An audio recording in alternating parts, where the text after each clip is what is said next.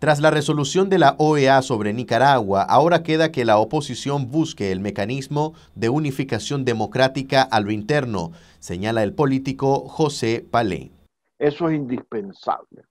En segundo lugar, tener claridad que lo que se requiere es una coalición política que enfrente a la dictadura, no una alianza electorera, ya que conformar como algunos están proponiendo una mera alianza electorera significa decirle o aceptarle al dictador que estamos dispuestos a jugar bajo sus reglas.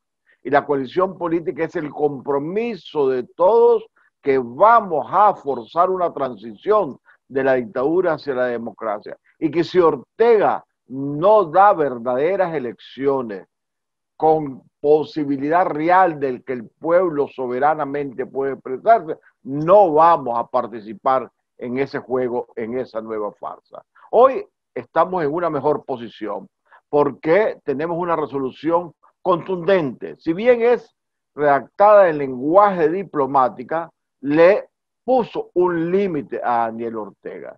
Ya Ortega está clarísimo de que él no puede seguir impulsando como en el pasado meras farsas electorales. Indica que en el tema de las reformas electorales ya hay propuestas y planteamientos específicos que de cumplirse de parte del gobierno ayudarían a una realización de elecciones con verdaderas garantías. Nosotros vamos a estar monitoreando. Por eso te digo la importancia de la coalición política, no de la alianza electorera. La alianza electorera es de quienes quieren ir desposcados ¿ah? a jugar bajo lo que Ortega proponga. No, nosotros vamos a estar dándole seguimiento a cada uno de los pasos, ver si se adecúan los pasos que dé el régimen de Ortega a lo que nosotros internamente los nicaragüenses estamos exigiendo. Y los este, representantes de la OEA, de los europeos, de la comunidad internacional en su conjunto, también estarán haciendo lo propio.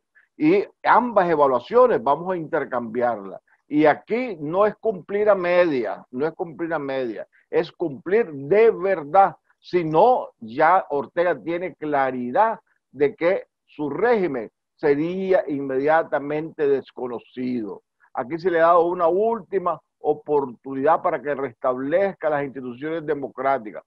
Desde su título, la resolución habla de restablecer y está obligado a restablecer el que ha violentado, el que está negando sostener o cumplir con el orden constitucional, con el orden democrático. Esa es una condena enorme que se le manda a restablecer lo que él ha suprimido violentando sus obligaciones frente a la ley nicaragüense y frente a los tratados internacionales. Marcos Medina, Noticias 12.